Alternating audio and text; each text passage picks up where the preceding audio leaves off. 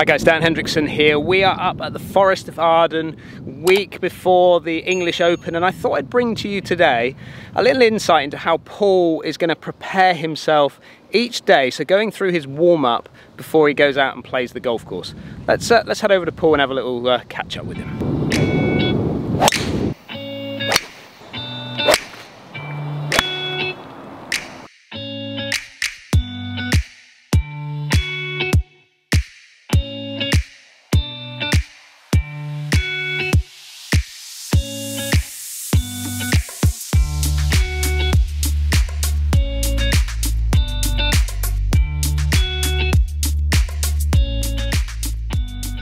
Paul, we are at the Forest of Arden. Yes. It's nearly game time. Get in there, isn't it? It's not far away now. So I want to sort of share with everybody what sort of preparation you do prior to going out and playing. So what are we going to be looking at? Obviously coming to the golf course to start with, you know, just before each round. Yep. How how long are you sort of taking to sort of prepare yourself before you get out onto the first tee? Be anywhere between hour and hour and a half. Okay. Um, it depends on the the place you're at, the facility, what they've got. Yeah. Um, where the location of the putting greens, chipping greens range is. Uh, Yeah. Sometimes there's always a, a big trek to the range. Um, sometimes the putting greens are all dotted around. So it depends a lot on, on what the facilities uh, have, Yeah. and, and then you kind of you plot a strategy based on that of what you're going to do. But I think the key is you don't want to get too early. You don't want to be too late and rush in. So it's trying to trying to get an even balance really. Okay. And we're going to be staying on site, aren't we, for this event? Uh, I believe so. Yeah. Yeah, at the Marriott Yeah. Hotel, which is just literally to our over here, over just behind us there. What what sort of thoughts are you doing? So let's say you're teeing off at like later on the first day. So Yeah. which I think happened at the BMW, didn't it? We Yeah. teed off sort of around 2:30, 3 o'clock, let's say. Yeah.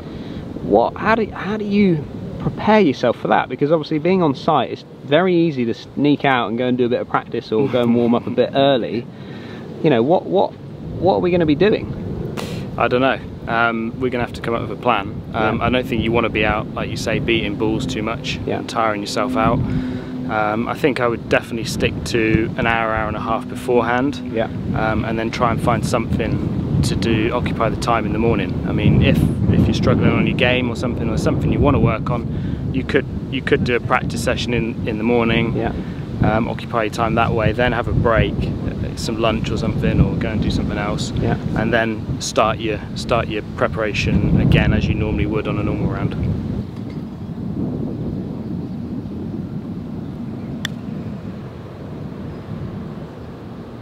So just rolling a few putts. Is this Yep. the first port call?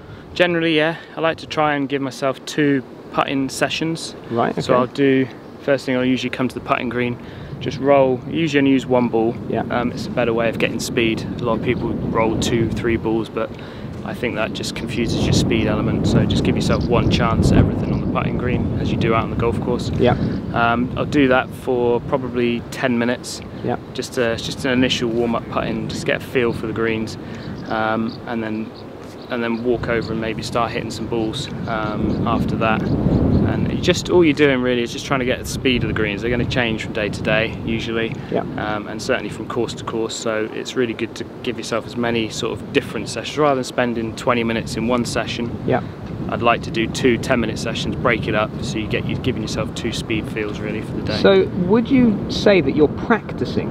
no, You're not really. practicing really. Are you thinking about your stroke in any way, or is it something? If, if you're not happy with it and there's something you've been working on, then you could do. But ideally, you'd come here with everything already done and, and happy with your strokes. So um, it's more of a feel, trying to just get the feel in your fingers, trying to get a, a, an understanding of what the greens are playing like, um, and just trying to go around with one golf ball, just trying to get get an indication of what it's going to be like for the rest of the day.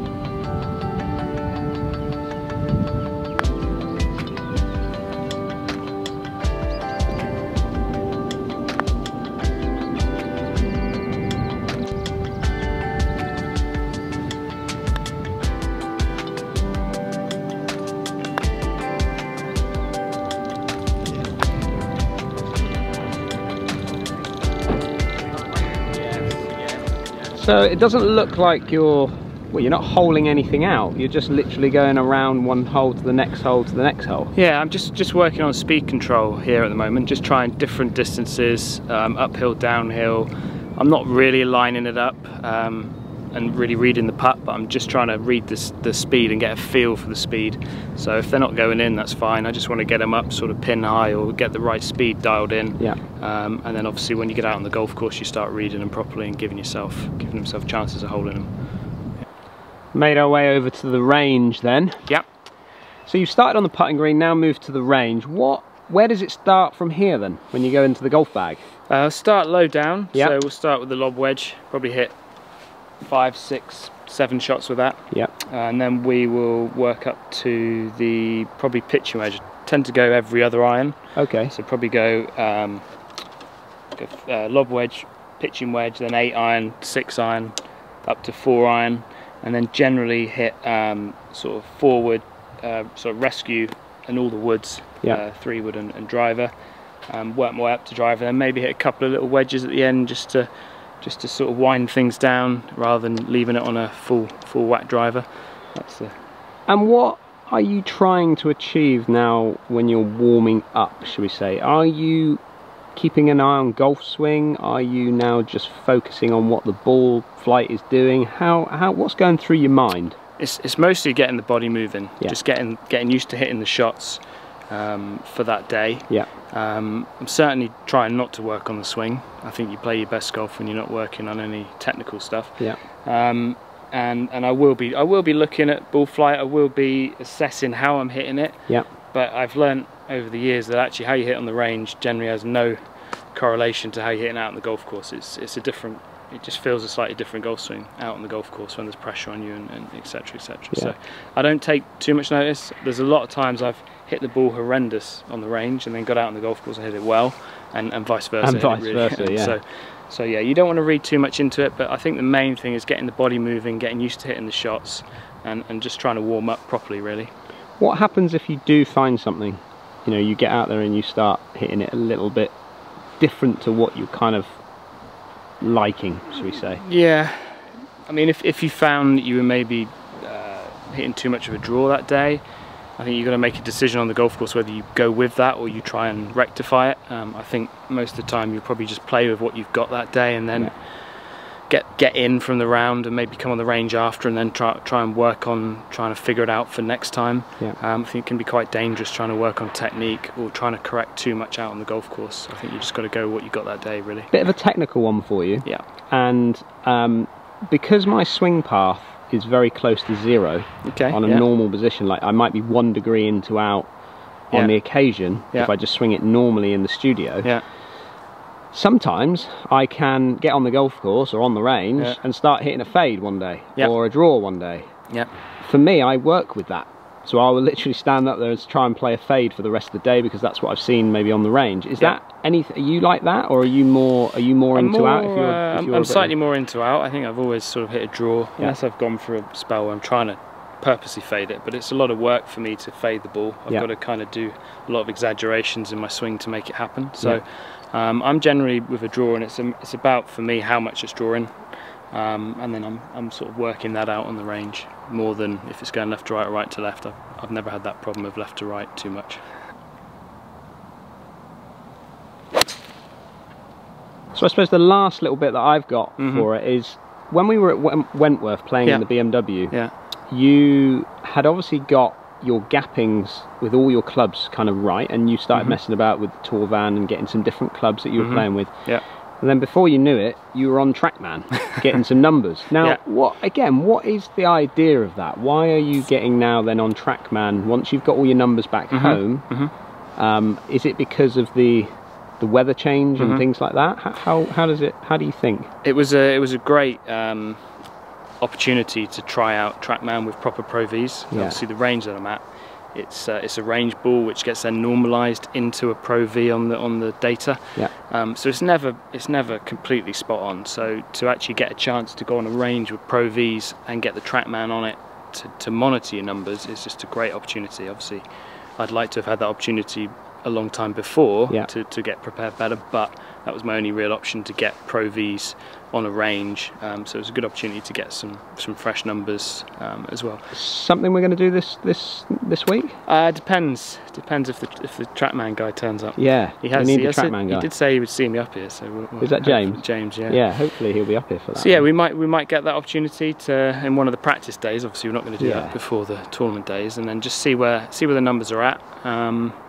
and you know that that that could work out quite nicely. Yeah.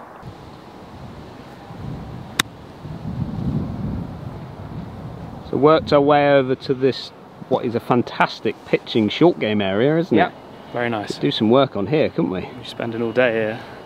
So what's the sort of thoughts when you come out here now then? So you've done your warm up, you've done a little bit of putting, you've Yeah. hit some balls on the range, you've now worked your way over to the short game area. What are Yeah. you kind of trying to do? Just practicing um, just random shots around the greens. Yeah. Um, so a few bunker shots, a few little lob shots, Yeah. uh, different lies, different different rough, Yeah. um, different slopes, etc. Just trying to get a feel again. Um, Because instantly I've noticed, because it's quite humid in the air, isn't yeah. it? Now the grass I could feel just even walking on it that it's quite clammy. Mm -hmm. So the grass is is really sort of grabbing hold of the club a little bit. Is that again? Is those are the small things that you're trying to sort of dial into? Yeah, I mean, you, you're just getting a feel, and you'll get that from playing the shots around the green. You get a feel of the moisture content, Yeah. um, the the length of the grass. Yeah, um, how firm the ground is around it because because I've had a sneaky little chat with the course manager Right. Okay. and he said that the European Tour love their golf courses to be firm and fast. Right. Okay. So um, so there's a little tip for you. Also, Yeah. bunker then. Yeah. Um, cool, that sleeper that that would upset my shins if that one popped back, You wouldn't don't it? want to thin that one, do you? No, but what are you doing in the bunker? Uh, again, just trying different distances, different lengths Yeah. uh, of shots, um, and just just getting a feel, um, a feel for how the sand is playing. It's quite compact today. I think they may, may have had the sprinklers on, or it's rained up here or something. And I know they haven't been raking bunkers anyway much because of the COVID stuff. So Well, you say that. right. Again, I've had an insight. Mhm. And European Tour like their bunkers to be firm, Okay. so nice and solid underneath. So Yeah. he's compacting them down to Okay. give a nice firm base. So Ah. I feel that what you're seeing there now is very, very similar to what we're going to get out on the golf course Yeah. and what you're possibly going to get for next next week. yeah. Um, very different to what you would expect on a resort course like this one Mhm. but um, yeah, definitely slightly different to what we would get on general play, I think. Yeah, I prefer more compacted sand as well. I've got low bounces on my clubs, so that kind of that kind of helps me a little bit. Yeah, So it does it, and that's quite probably nice. why a lot of players on tour do have kind of lowish bounce on their clubs Yeah, maybe. or on their wedges compared to, let's say me, who I have generally quite a bit of bounce to a bit a of lot, help, Yeah. um, just because of the situation that they they're faced week in week out on tour. Yeah, yeah. I, I, I like the feel of what I've, you know, just tried in the bunker. It's nice. Yeah.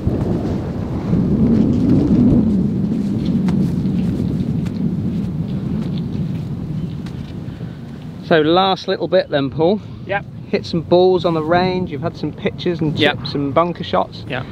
Back onto the putting green before you tee off. Yeah, we've got probably 15 minutes before we're about to tee off, or Okay. 20 minutes. So, Yeah. um, just gonna again just get a, a feel again for the, the pace of the greens. Maybe Yeah. knock in a few short putts as well. Just build the confidence up for for holding out, um, and just yeah, just another opportunity really to get speed for the greens.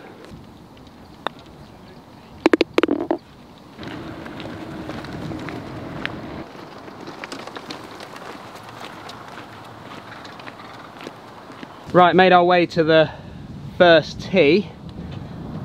So you're all warmed up Yep. and you're all ready to go. Yep.